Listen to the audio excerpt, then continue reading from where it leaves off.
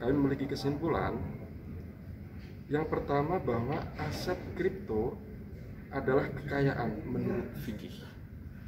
Jadi kripto, aset kripto yang sekarang sedang dibicarakan itu adalah harta dalam tinjauan fikih. Pengertiannya adalah bahwa kalau harta ini dicuri, dia bisa disanksi pencurian. Kalau dirusak, dia harus mengganti. Itu pengertian harta.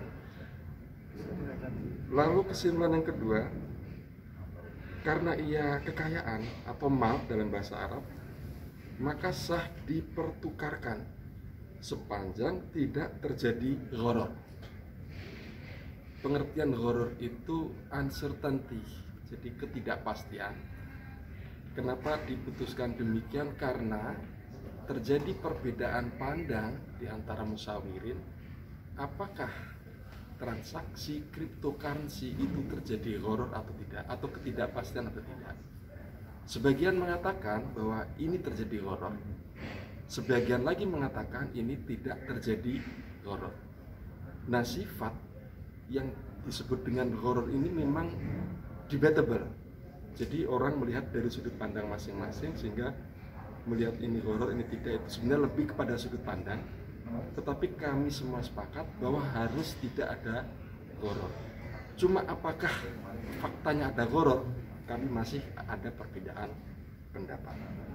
Sehingga kalau menurut yang mengatakan di dalam transaksi cryptocurrency ada goror, maka tentu itu tidak diperkenankan. Dan bagi yang mengatakan bahwa itu tidak ada goror dan itu juga didukung oleh uh, musyawirin, maka dia boleh dipertukarkan. Yang ketiga, kesimpulannya adalah ini seperti himbauan menghimbau kepada masyarakat agar tidak mudah melakukan transaksi ini jika tidak memiliki pengetahuan tentang cryptocurrency. Karena setelah mendengar pemaparan sangat mungkin karena e, seperti penjelasan itu bahwa cryptocurrency bisa dilakukan melalui broker-broker tersedia di aplikasi semua orang itu bisa mengakses maka kemungkinan kerawanan terjadinya transaksi-transaksi cryptocurrency itu justru tidak menguntungkan bagi masyarakat kita. Karena itu kalau memang masyarakat itu paham betul tentang cryptocurrency maka it's okay bagi yang mengatakan tidak ada horor tapi kalau ada ada dia tidak paham, maka janganlah masuk seperti ini. Jadi kira-kira gambarannya seperti ini. Karena dia itu sesuatu yang bebas, yang bisa diakses melalui HP asal punya kuota, siapa pun termasuk anak-anak.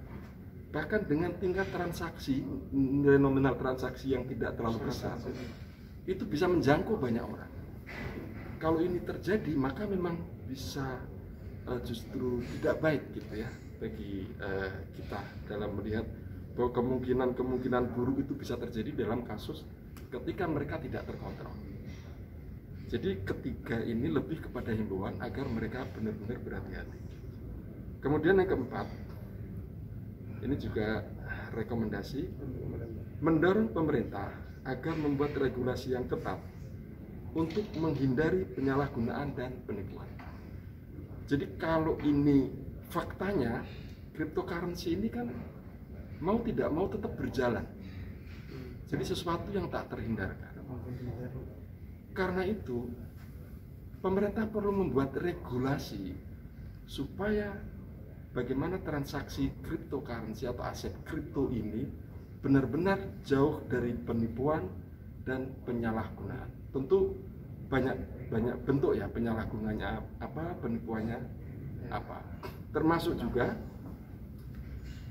rawan penipuan adalah yang model-model transaksi kripto menggunakan broker melalui aplikasi-aplikasi yang banyak tersebar sehingga eh, mestinya bukan hanya sekedar membuat regulasi tetapi juga memberikan edukasi kepada masyarakat mensosialisasikan apa sebenarnya cryptocurrency supaya orang tidak dengan mudah membuat atau bermain cryptocurrency.